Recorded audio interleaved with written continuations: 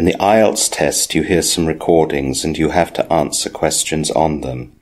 You have time to read the instructions and questions and check your work. All recordings are played only once. The test is in four sections. Now turn to section 1. Section 1. You will hear a conversation between a man and a woman discussing lost property at a cinema. First, you have some time to look at questions 1 to 5.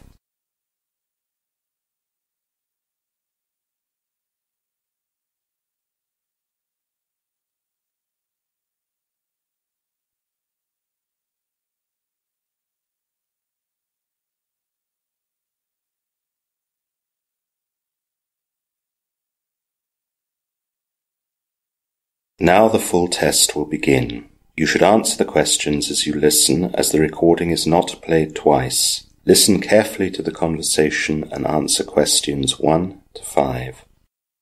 Good morning. Do you work here at this cinema? Yes, I do. My name's Angela. Can I help you?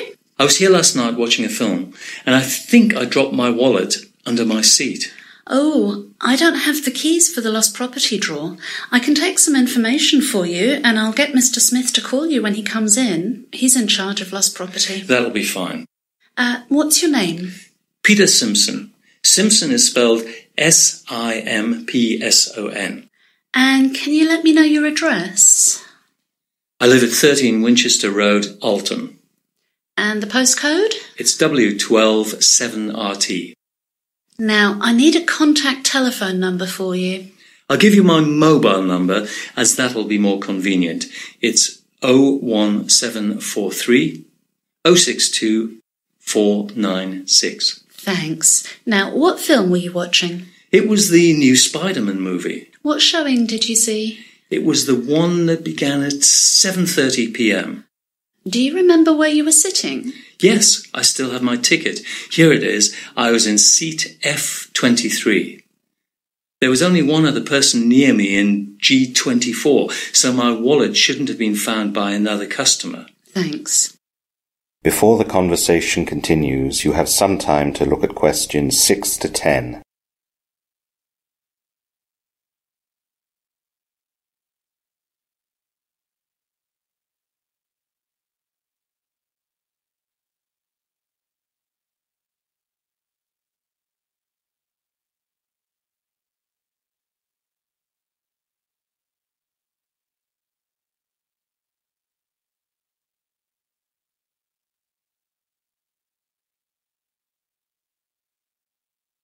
Now listen carefully and answer questions 6 to 10.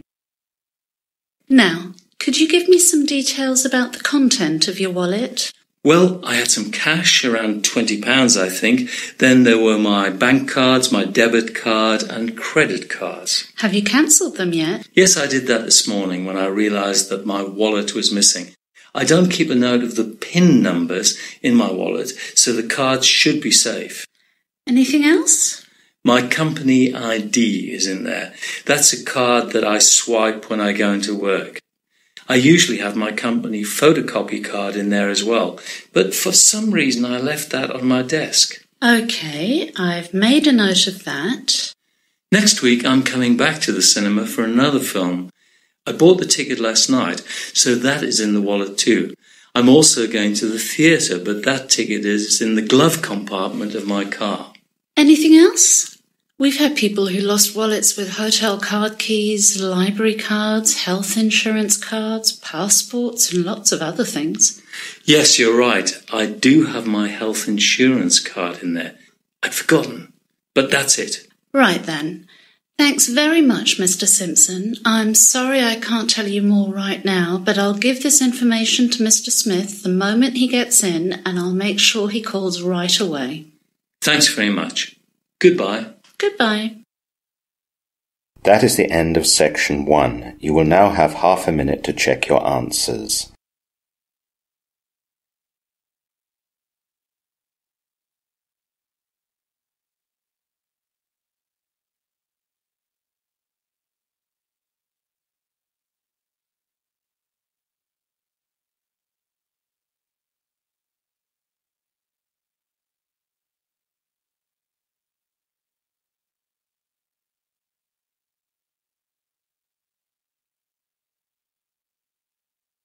Now turn to section 2. Section 2.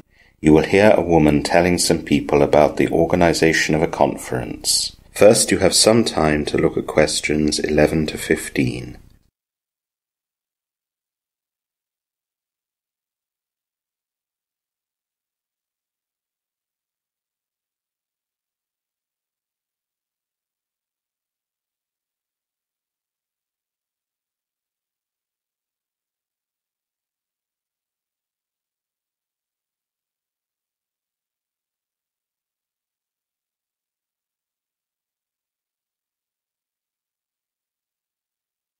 Now listen carefully to the information talk and answer questions 11 to 15.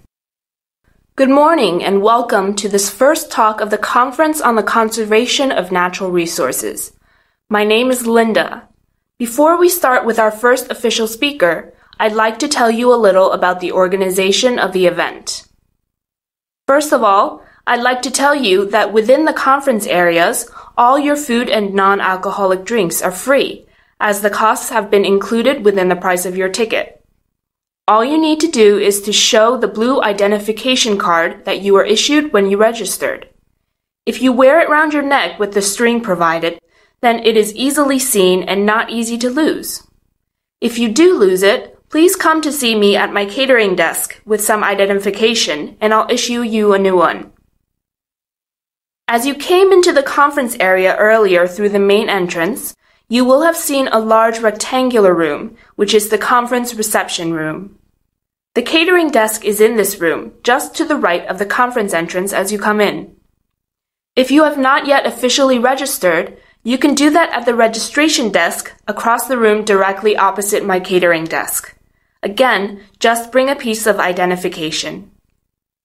We know that some of you will not have yet organized anywhere to stay. If you'd like some help with that, you can visit our accommodation desk, which is found to the left of the registration desk as you come into the conference reception room. The bathrooms are between these two desks. We have agreed some special rates at some nearby hotels that also have free shuttle services to and from this conference center. You won't find a better deal. During the conference, there will be two speeches going on at any one time. After the opening speech that follows my talk, you can choose to stay in this hall, which is Lancaster Hall, or go to the other hall, which is Kensington Hall. Lancaster Hall, which is the one we are in right now, is through the only door in the right-hand wall of the conference reception room, and Kensington Hall is directly opposite.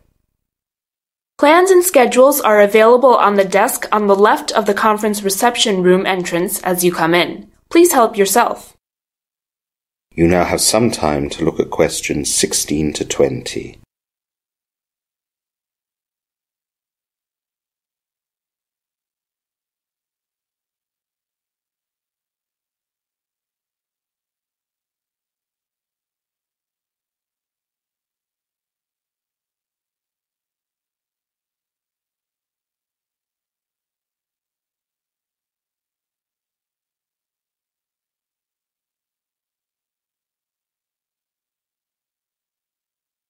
Now listen to the rest of the information talk and answer questions 16 to 20. And now, before the opening speech, I'd like to tell you about the refreshments organized for this event. In the mornings before the first speeches, we will have tea, coffee, juices, and water along with some fruit available on tables. Please help yourselves, but please don't take food or drinks into the conference halls. Just leave used crockery on the tables provided. Lunches will be served in the conference center's restaurant. To get there, leave our conference area and go up to the second floor by lift, escalator, or stairs. You will see the restaurant there easily. In the restaurant, the food will be served cafeteria style, so that the large number of people can be handled efficiently. There will be starters, soups, and salads available as well as main courses.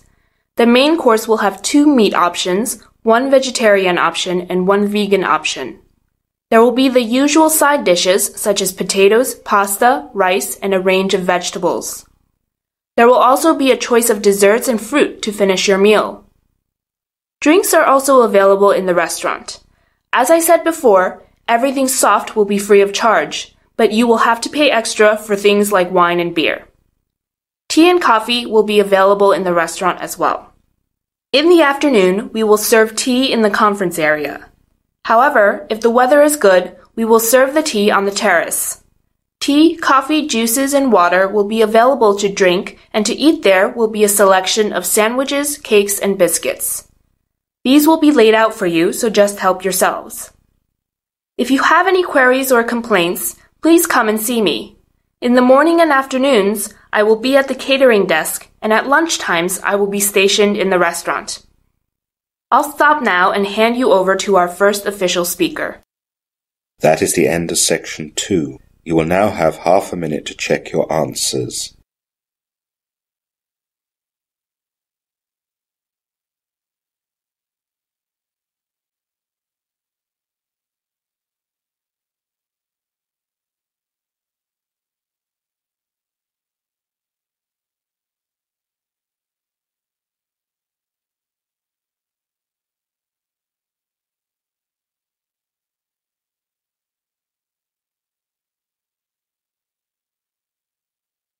Now turn to section three.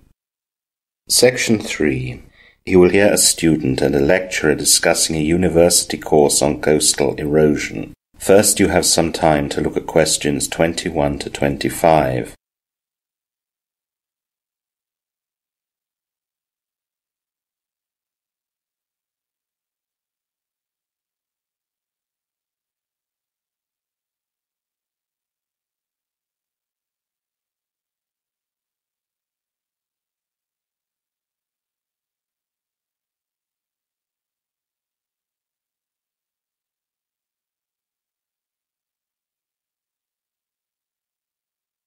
Now listen carefully and answer questions 21 to 25.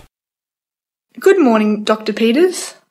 Can I ask you a couple of questions? Oh, good morning, Amanda. Yes, I'm free right now. Go ahead.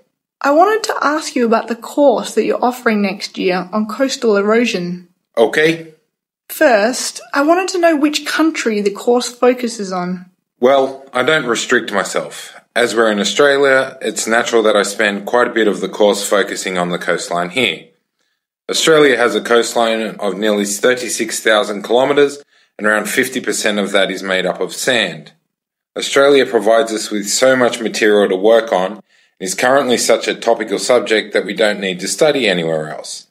That would make the course a little limited though, and so we look at various other places around the world.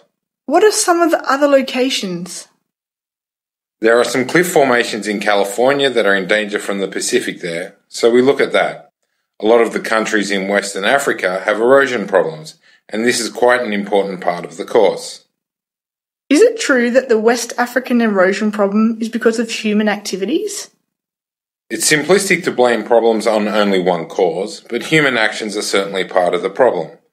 The removal of sand and gravel from the coast to use for construction and human coastal constructions, such as ports, harbours, and jetties, with the associated dredging required for ships to approach, have all exacerbated the problems. Natural phenomena, such as wave actions, tide, sea currents, and winds, also play a role, although it's argued global warming affects these as well. Are there any other places we study? We look at some severe erosion areas around the world so we can study the causes, consequences, and action taken in these areas. This includes some locations in the UK, Louisiana, and Hawaii. There are various others as well. Do we have many field trips? Yes, we do, but only in Australia and to places not too far away. We can't afford to go to Africa and California, unfortunately. Our main trip is a study of the Gold Coast, and we visit a number of hot spots on the coast there. What will we do on the field trips? A lot of survey work and research. Fortunately, we have the figures of previous students available, so we have great data on past erosion measurements. You'll have access to all these data and then you'll need to do your own measurements. How long will the trips be? They'll be mostly day trips when possible to keep costs down. That will of course be locations that are fairly close to us here. There will also have to be some overnight trips. We get a lot of work done on these trips, but it's a lot of fun as well. You now have some time to look at questions 26 to 30.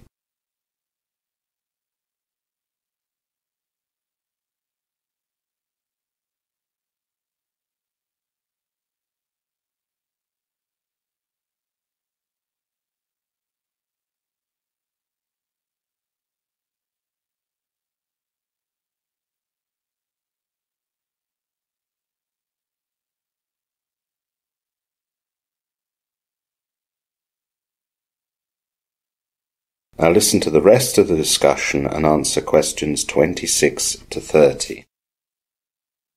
Can I ask you a little about assessment?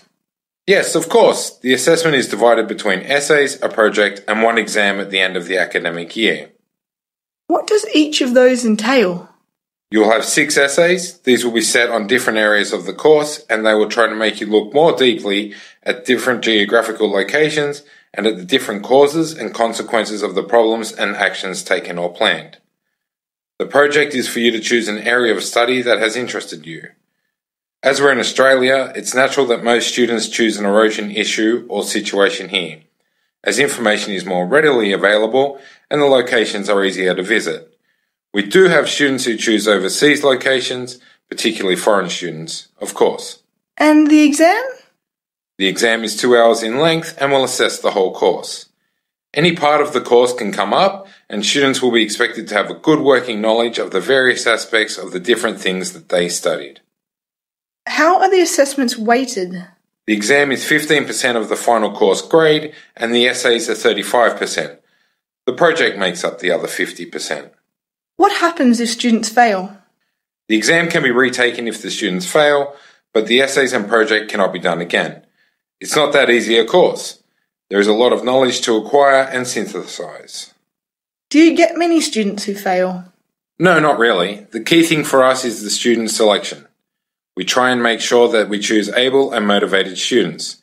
We check qualifications very carefully to ensure that all students have the necessary background and skills to cope with what the course demands. That sounds reassuring. I hope so. Of course, there are occasionally some problems, but usually the course tutors can see fairly early by the essay performances if any students are struggling, and they try to intervene and help before the problem student situations become irretrievable. Well, thanks, Dr. Peters. That was really helpful. You're welcome, Amanda. Goodbye. Goodbye. That is the end of section 3. You will now have half a minute to check your answers.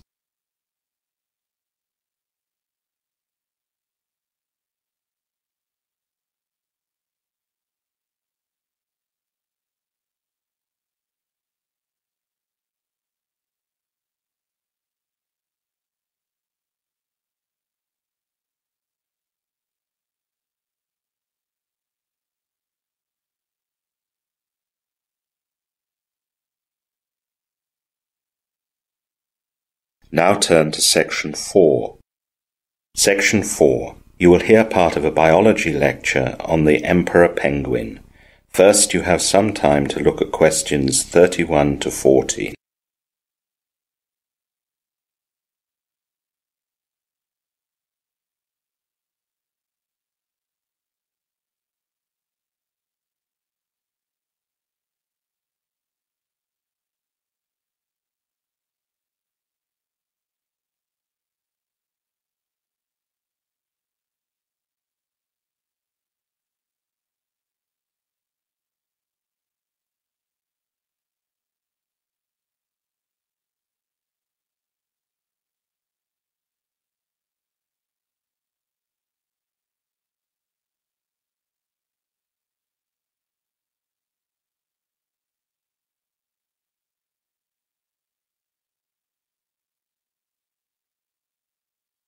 Now listen carefully and answer questions 31 to 40. Good morning and welcome to this lecture on the emperor penguin. Penguins in general are flightless birds, perfectly designed for the marine environment. They are excellent swimmers with a torpedo-shaped body, feet and tail that act as a rudder, and flippers that act as propellers. A waterproof coat of feathers with an underlayer of woolly down plus a fat layer protects them against the cold. Penguins eat mainly small fish and krill. In turn, penguins become food for other marine animals, namely leopard seals and killer whales. On land, their main predators are skuas and sheathbills, which are both carnivorous birds that take both eggs and chicks. There is still debate about the classification of some penguins, and depending on which authority is followed, there are 17 and perhaps up to 20 species of penguin. Four of these species live and nest on and around the Antarctic continent, and the rest are found in subantarctic regions. The largest of the penguin species, the emperor, grows up to 1.15 meters tall and weighs up to 40 kilograms. They are very deep divers, often diving to about 250 meters, with dives lasting on average 3 to 6 minutes. Their menu is varied and includes fish, krill, and squid. A truly hardy animal, the emperor penguin is the only warm-blooded animal that breeds during the Antarctic winter, surviving blizzards, darkness, and wind chill equivalent to temperatures as low as minus 60 degrees Celsius. Every year around late March, adult emperor penguins leave the pack ice and may walk up to 200 kilometers over its frozen surface to their breeding sites. They require stable, long-lasting, fast ice on which to breed. In May or June, the females lay one egg and then make the long walk back to open water, eating again for the first time in about two months. In the meantime, the egg is kept on the feet of the father, protected under the layers of feathers and fat of its abdomen. During the next two months, the father fasts while keeping watch until its chick hatches. Miraculously, at that time, the mother returns with food. By that time of year, July to August, food can then be obtained more easily because adjacent ocean areas have been swept free of sea ice by strong winds. Two of the most northern emperor penguin populations are located at Point Géologie Adélie Land and Dion Island located on the northwestern Antarctic peninsula. In this warmer part of Antarctica, both emperor penguin populations have declined over recent decades. At Point Géologie, the population has declined by about 50% over the past 50 years. High mortality occurred during the late 1970s, the cause of which is not yet known, and the population has not recovered since. The decrease in the Dion Island colony was brought about by large-scale disappearance of sea ice in that region. The emperor penguin's main predator is the leopard seal. The leopard seal lives in the ocean and waits until some emperor penguins enter the water and then eats the weakest one. Also, some birds eat the eggs and the chicks when they are about a month old. Furthermore, emperor penguins face threats from overfishing and rising temperatures. The overfishing is killing most of the emperor penguin's food source. Climate change has caused profound changes in the Antarctic ecosystem and impacts the emperor penguins in diverse ways, such as causing ice shelves to collapse and icebergs to calve. A recent report claims that under 2 degrees Celsius global warming will lead to a decrease in sea ice thickness and an increase in open water area. This will severely challenge around 40% of the emperor penguin population in terms of finding satisfactory nesting areas. The report goes on to say that because of this, emperor penguins will lose 20% of their number in the next 10 years.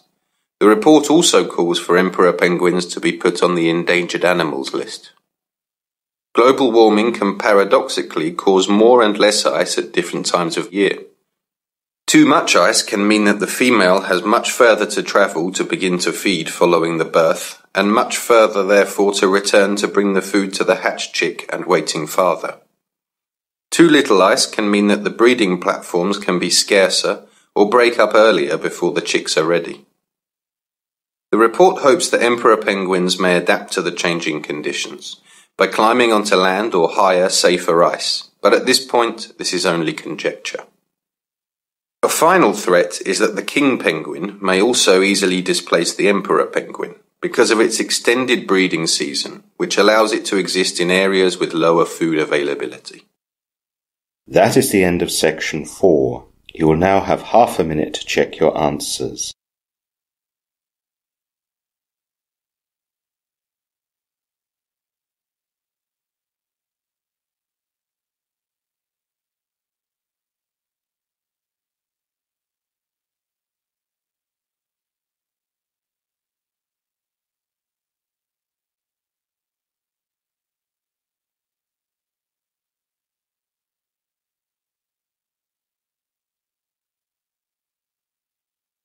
That is the end of listening test 1. In the IELTS test, you would now have 10 minutes to transfer your answers to the listening answer sheet.